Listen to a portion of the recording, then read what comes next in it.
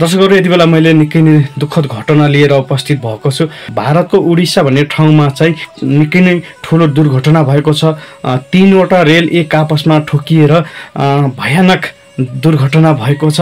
दुर्घटनामा परि दुई सय अठासीजनाको मृत्यु भइसकेको छ भने एक हजारभन्दा बढी चाहिँ घाइते भएका छन्। उडिसाको बहाना रेल स्टेसनमा चाहिँ यो घटना घटेको हो र घटना शुक्रबार रातिको चाहिँ यो घटना हो भने यति बेला त्यस स्थानतिर चाहिँ त्यहाँका सम्बन्धित निकायका मान्छेहरूसँगै सुरक्षाकर्मी र धेरैजनाको त्यहाँ उपस्थिति रहेको छ।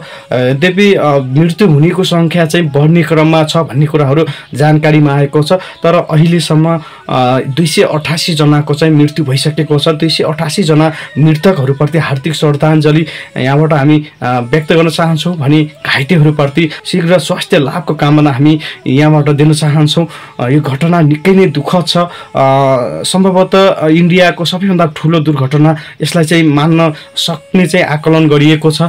यद्यपि यो घटनाले कस्तो मोड लिन्छ कतिजनाको ज्यान लिन्छ भन्ने अझैसम्म पनि तथ्य खुलेको छैन। तर यति बेला घाइतेहरू हस्पिटलमा चाहिँ उपचाररत छन् र मृतकहरूलाई चाहिँ सङ्कलन गर्ने कार्यहरू भइराखेको छ। यो विषयमा हामी थप जानकारी दिन गइरहेका छौँ। भिडियो अन्तिमसम्म हेर्ने कोसिस गर्नुहोला। भिडियोलाई सेयर गरिदिनु होला अ, लाइक गरिदिनु होला कमेन्ट गरिदिनु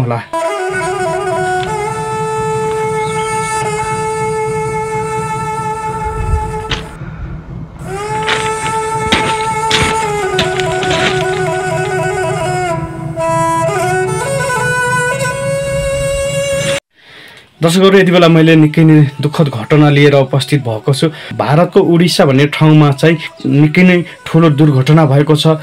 तिनवटा रेल एक आपसमा ठोकिएर भयानक दुर्घटना भएको छ।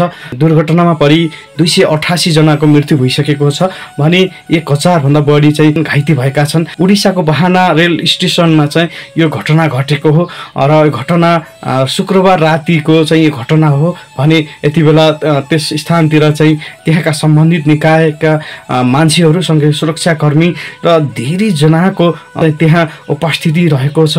यद्यपि मृत्यु हुनेको सङ्ख्या चाहिँ बढ्ने क्रममा छ भन्ने कुराहरू जानकारीमा आएको छ तर अहिलेसम्म दुई सय अठासीजनाको चाहिँ मृत्यु भइसकेको छ। दुई सय अठासीजना मृतकहरूप्रति हार्दिक श्रद्धाञ्जली यहाँबाट हामी व्यक्त गर्न चाहन्छौँ भने घाइतेहरूप्रति शीघ्र स्वास्थ्य लाभको कामना हामी यहाँबाट दिन चाहन्छौँ। अ, यो घटना निकै नै दुःखद छ।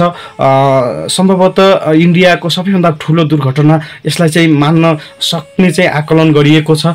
यद्यपि यो घटनाले कस्तो मोड लिन्छ कतिजनाको ज्यान लिन्छ भन्ने अझैसम्म पनि तथ्य खुलेको छैन। तर यति बेला घाइतेहरू हस्पिटलमा चाहिँ उपचाररत छन् र मृतकहरूलाई चाहिँ सङ्कलन गर्ने कार्यहरू भइराखेको छ। यो विषयमा हामी थप जानकारी दिन गइरहेका छौँ। भिडियो अन्तिमसम्म हेर्ने कोसिस गर्नुहोला। भिडियोलाई सेयर गरिदिनु होला लाइक गरिदिनु होला कमेन्ट गरिदिनु होला।